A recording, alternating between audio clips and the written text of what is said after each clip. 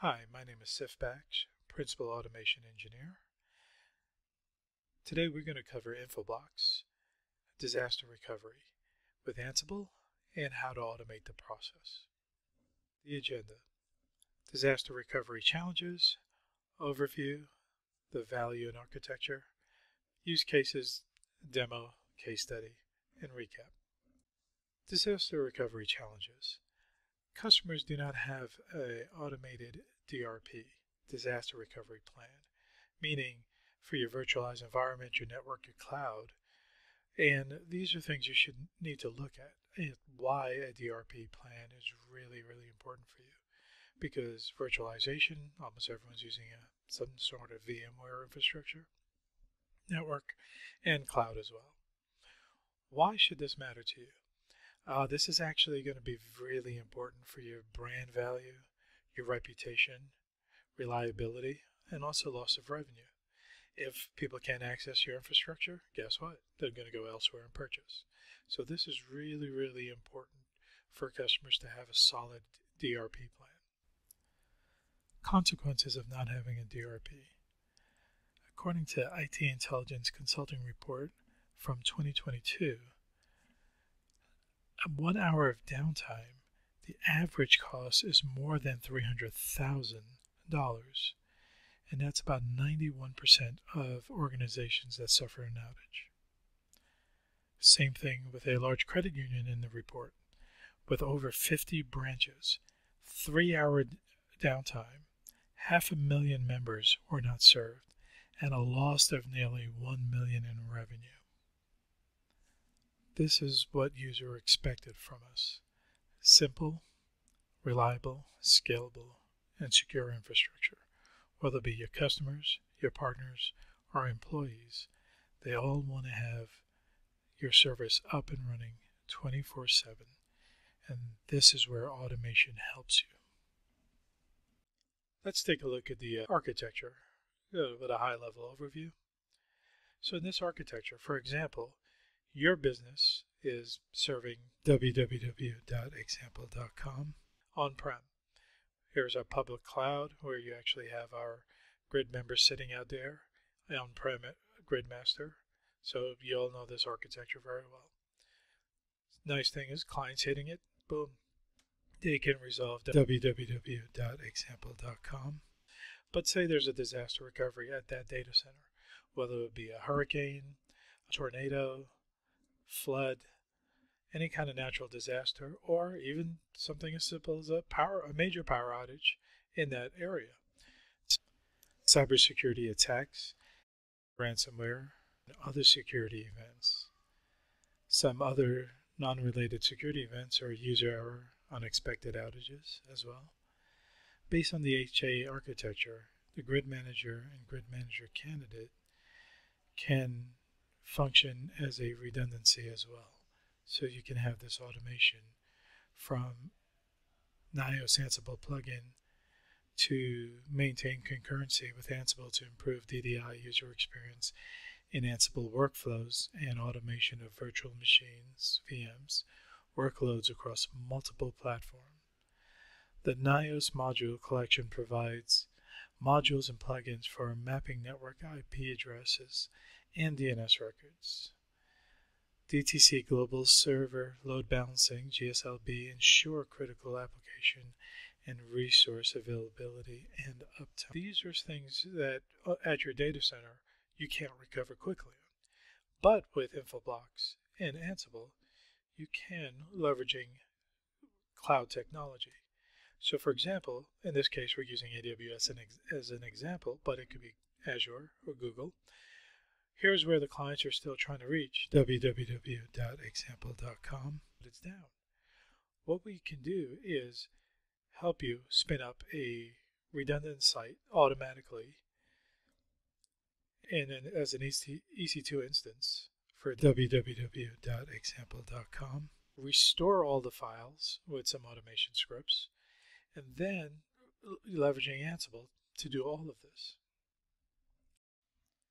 Now with some automation with Infoblox and Ansible, you can now rename the host name or the A record for example.com and point it to the new EC2 IP address. Now let's go ahead and take a look at the demo. Now let's take a look at our IPAM data. So as you can see here, our WW A record is 1010.10.1.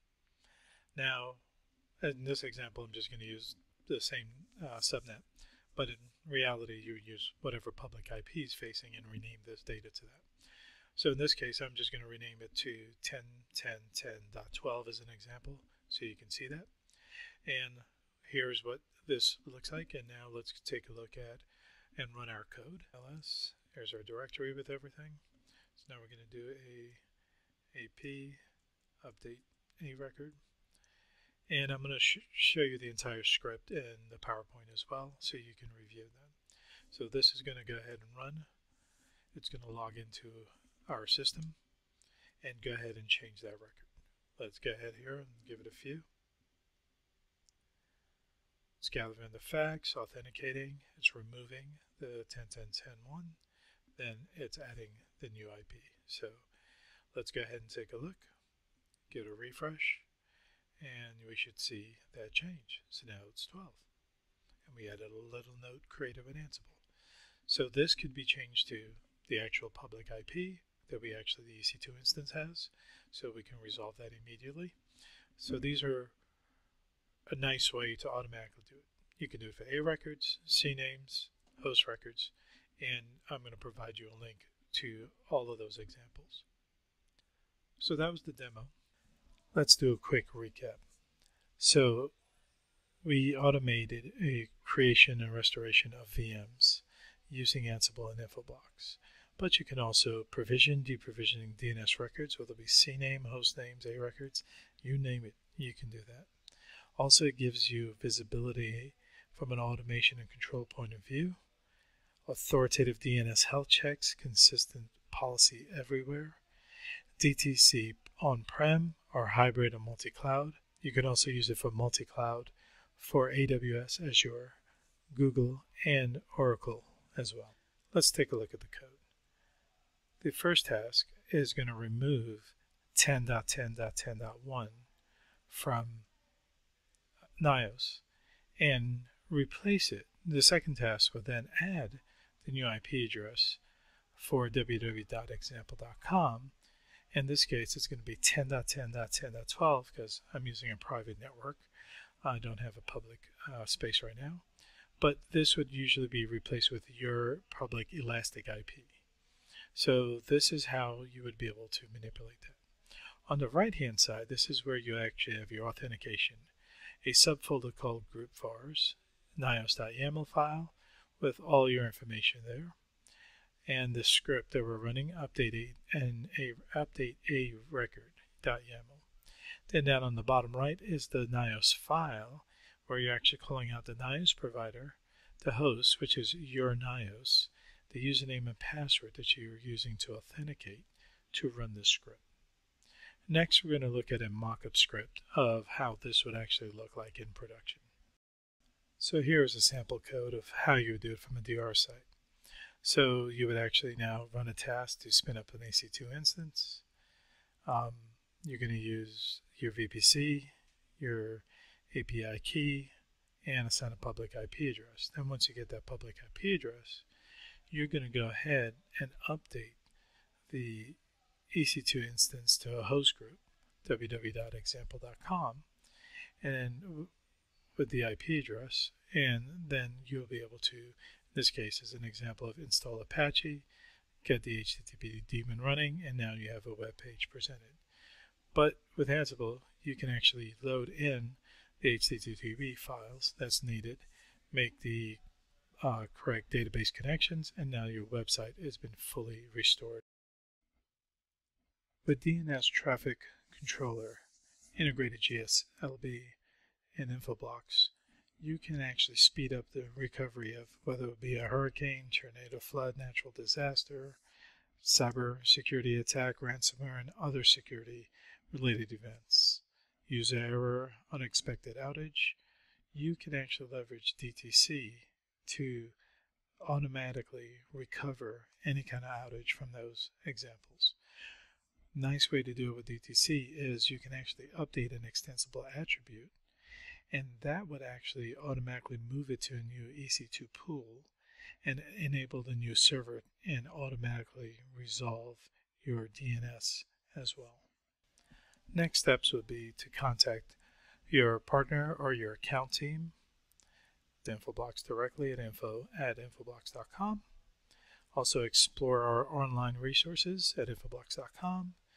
For additional resources around Ansible, please check out our GitHub repo, Ansible-Infoblox. And you can also start a free trial today. I want to thank you for watching this video